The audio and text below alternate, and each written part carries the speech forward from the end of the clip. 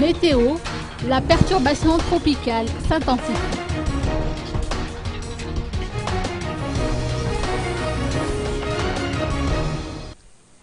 La perturbation tropicale dans le canal de Mozambique a été localisée en mer à 680 km au large de Mahazang, de source auprès du service météorologique d'Impasapito. Le système s'intensifie et engendre des vents de 55 km/h près de son centre. Il se déplace vers l'est. Par conséquent, l'alerte verte ou avis d'avertissement lancé aux régions Sofia, Bouin et Melek reste en vigueur.